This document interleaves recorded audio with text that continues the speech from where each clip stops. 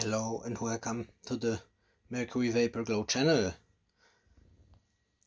The viewers of my channel will already know these two lovely fixtures from Philips. The SGS 201 and the SRP here. You can find videos on these two fixtures on my channel.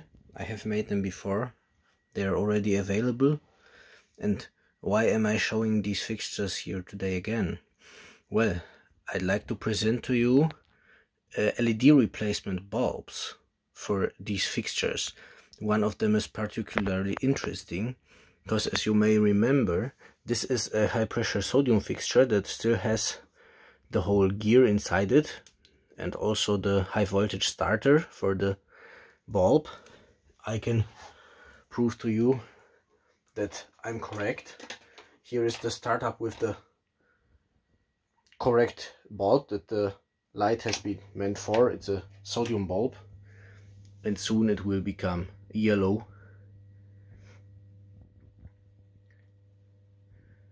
I will exchange these bulbs for LEDs today and this is without even touching the ballasts. Here you can see it becomes yellow so this is this is a high pressure sodium fixture. And the bulbs that I want to show to you today are two Osram products that uh, I can show you here.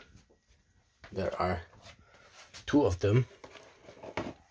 One of them is the Osram LED 2000 lumen HID replacement this is uh, meant for working with the conventional control gear as stated here. It's not dimmable of course. And uh, it has parameters to replace let's say a 50 watt mercury vapor bulb.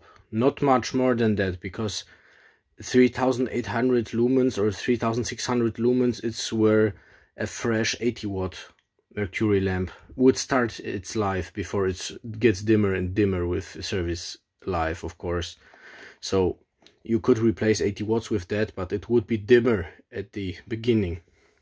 And this of course you could you cannot use in a high pressure sodium fixture because the high voltage of the starter will kill it. But here we have the one that is even more interesting.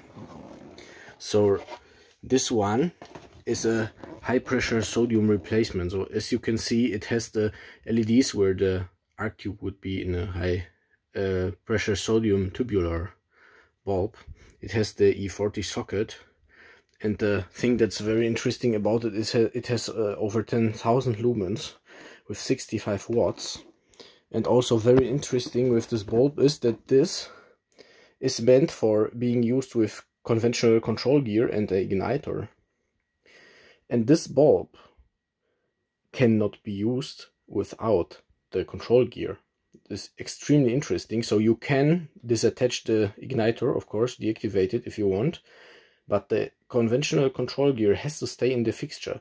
This lamp cannot work on voltages upwards of 110 volts, as it says here. So the other bulb that I showed you before, you can just use with mains voltage, doesn't matter, but this bulb, it matters a lot. So I, I'd like to present to you these uh, two very special bulbs here.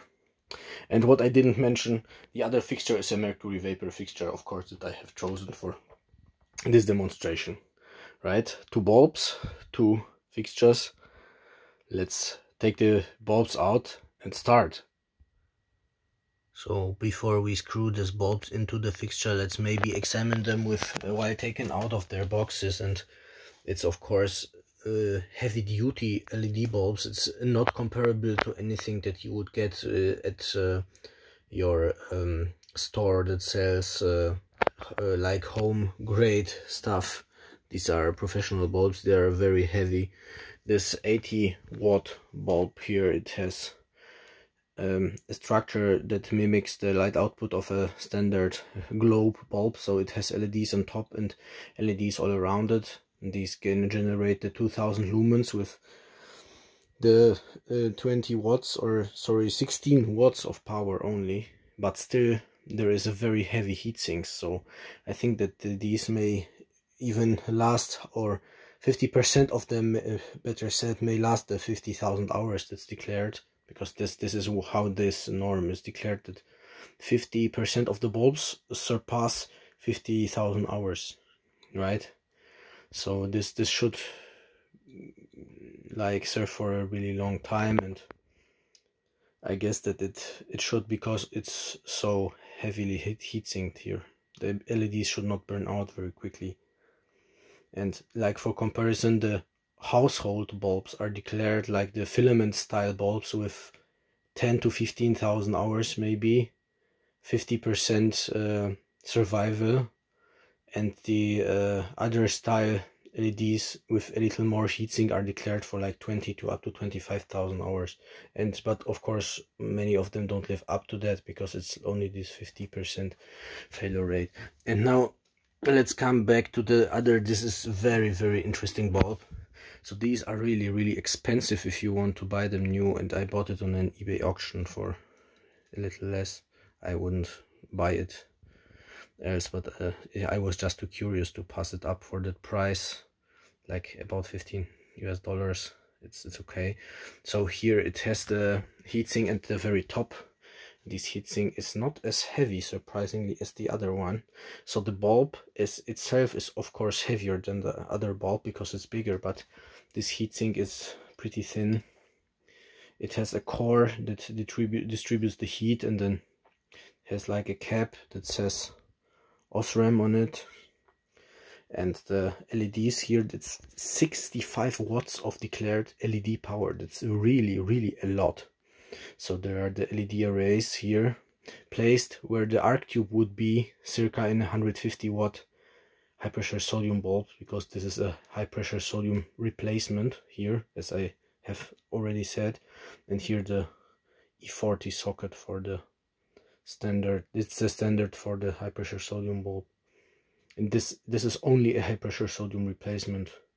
And I guess this is not meant for any type of home use or anything because it cannot run without the control gear.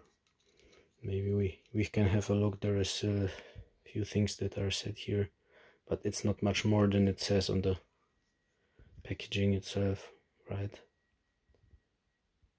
Okay let's screw them in start them up and see how they work how they replace the original discharge bulbs.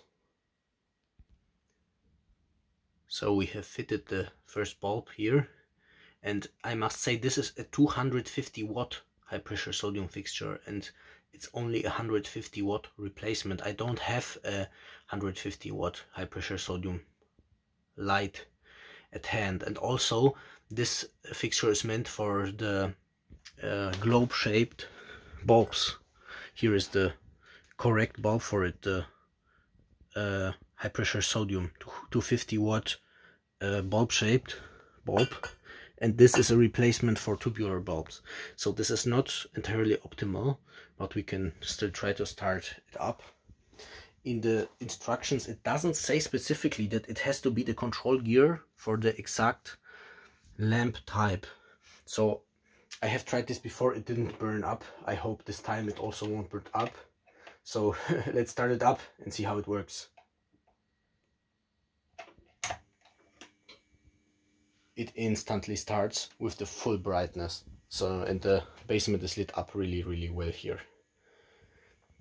It may not be as bright as the 250 watt high pressure sodium bulb of course because it's a 150 watt replacement. You can see the the control gear is humming a lot more so the control gear seems not to be very happy with this bulb and i don't know if i have to attribute it to it to be the wrong control gear because of the wattage difference or if this doesn't matter or if it doesn't. It doesn't sound like the starter is working all the time because this bulb is uh, voltage protected up to 4000 volts because it can be, as I said, used with the igniter. Overall, it seems to work like the light distribution here from the side is the biggest. It's the standard for this fixture. It's like this fixture is described in the manufacturer's description. It's it seems to work correctly. Just that the beam is more downward than with the globular bulb. And that's it. It works. It works fine. It's really bright. So if you turn it off you can see the LEDs glow for a very short moment but it I mean it doesn't seem to get overly hot to be honest. I didn't see it get too hot. So let's uh, switch to the other light fixture and try the other replacement bulb. Okay. So we have put in the correct bulb in this fixture and now we have outfitted this mercury vapor philips sgs 201 fixture with the led replacement as you can see inside and we will just try it out and see how it works. I don't expect it to be very overly bright because it's the 16 watt version. Let's see. So of course with led the boring instant start right? And yes it is not overly bright. So it's it is bright but it's not very bright. And on the street i think it would be a little too less on a high mast at least and maybe in a park on a like three meter like uh, nine foot pole or something it would be okay. I mean the light distribution is still kind of okay but it's more uneven. You can see here on the wall that you have these stripes here. So the light distribution with this fixture is not optimal. Maybe if it would have a bowl with a diffractor or something it would be better but so this is of course not the very best replacement for the optics. It works. It has it still has a flicker as you can see on the camera. I don't see it in person. I mean overall these uh, led fixtures are very uh, like this LED replacements are very very good idea because if someone has to trash the old fixture and get a new LED fixture or just get a new bulb and he decides to get the bulb. And this bulb does what it's supposed to do consumes less energy then it's better for us lighting enthusiasts because we have our classic fixtures for longer right? But of course it doesn't have the soul and the vibe that the old discharge lamps had to it. So overall, I'd say we'll end this experiment here. Thank you very much for watching my video. If you liked it, please subscribe for more street lighting content. I will update my channel here soon a little bit more. And thank you very much for watching. Have a nice day. Bye bye.